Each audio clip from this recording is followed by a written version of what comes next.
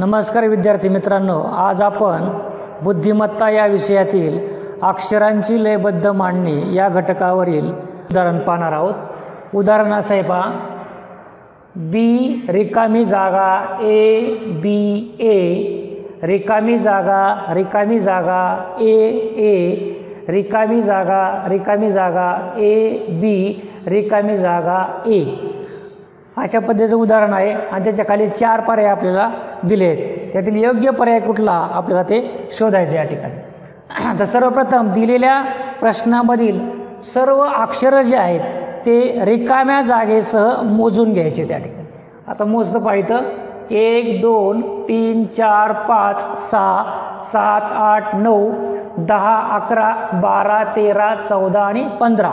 म्हणजे इथं एकूण अंक आहेत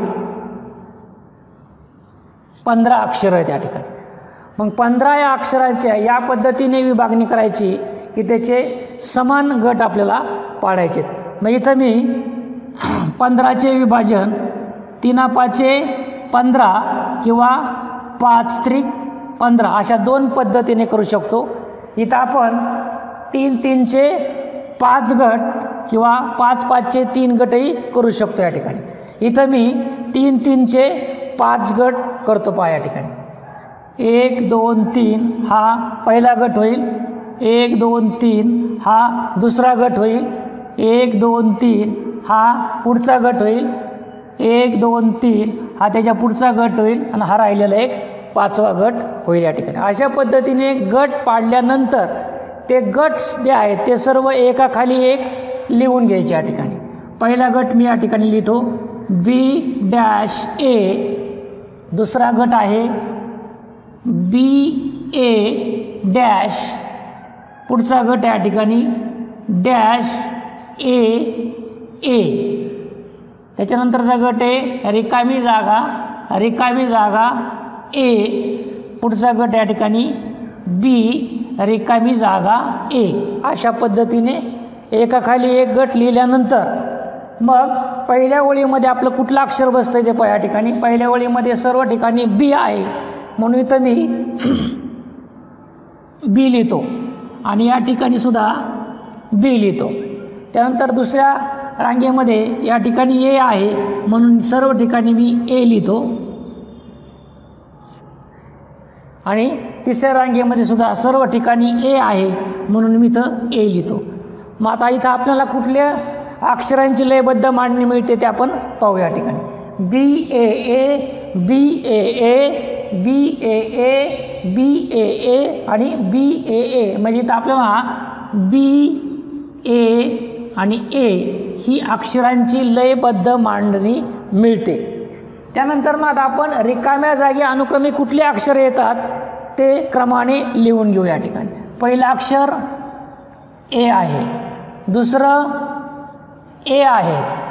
तीन नंबरचं बी आहे. त्यानंतर पुढचा बी आहे. त्याच्या पुढचा पाच नंबरचा ए आहे आणि सहा नंबरचा देखील ए आहे. मग अशा पद्धतीने ही अक्षरांची संख्या मिळाल्यानंतर अशा प्रकारचा आपला कुठला पर्याय आहे ते जुळतं आहे ते आपण पाहू या ठिकाणी. पहिला पर्याय पहा. तर पहिल्या पर्यायाशी हे जुळत नाही. दुसऱ्या पर्यायाशी देखील जुळत नाही. तिसरा पर्याय जर पाहिला आपण तर तिसऱ्या पर्यायाशी देखील जुळत नाही.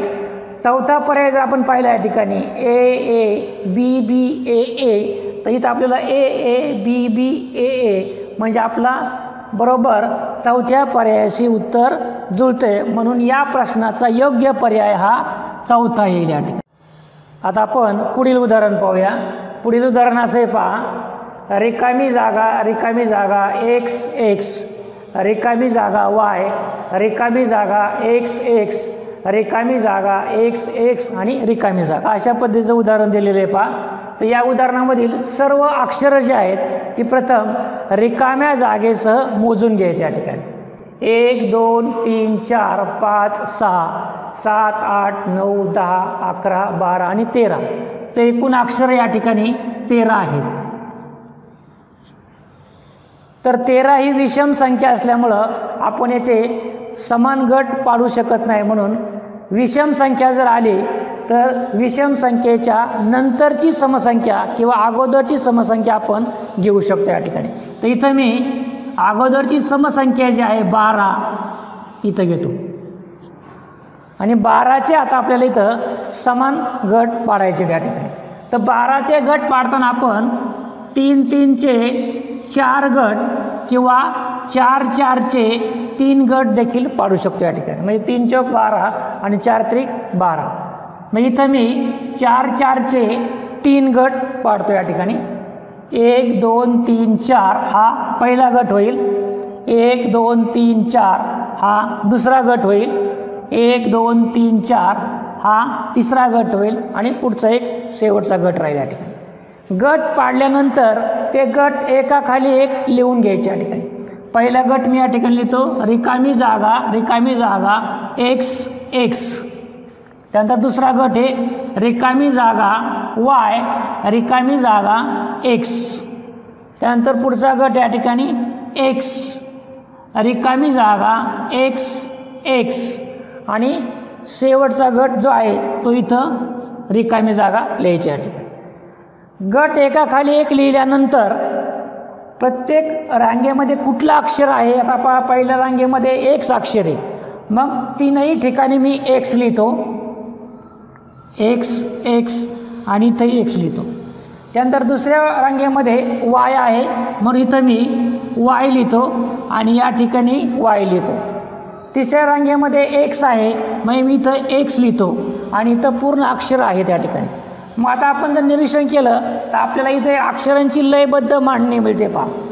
X Y X X X Y X X X Y X X आणि एक्स म्हणजे इथं आपणाला एक्स वाय एक्स एक्स ही अक्षरांची लयबद्ध मांडणी मिळते. लयबद्ध मांडणी मिळाल्यानंतर रिकाम्या जागी अक्षरं कुठली आहेत?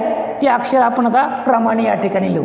पहिलं अक्षर आहे एक्स दुसरं आहे वाय त्यानंतर आहे एक्स त्यानंतर आहे परत एक्स त्यानंतर पुढचं अक्षर आहे वाय त्यानंतर पुढचं अक्षर आहे एक्स.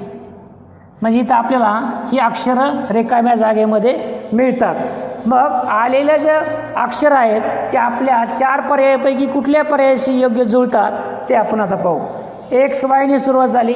म्हणजे इथं वाय एक्सने सुरुवात आहे. म्हणजे पहिला पर्याय इथं नाही या ठिकाणी. दुसरा पर्याय देखील वाय एक्सने सुरुवात आहे. म्हणजे दुसरा पर्याय देखील नाही. तिसरा पर्याय एक्स वाय ने सुरुवात आहे. एक्स एक्स वाय एक्स इथं देखील पहा एक्स वाय एक्स एक्स आणि वाय एक्स म्हणजे हे अक्षरं तिसऱ्या पर्यायाशी जुळतात. म्हणून आपल्या प्रश्नाचं योग्य उत्तर जे आहे ते तिसरा पर्याय आहे. या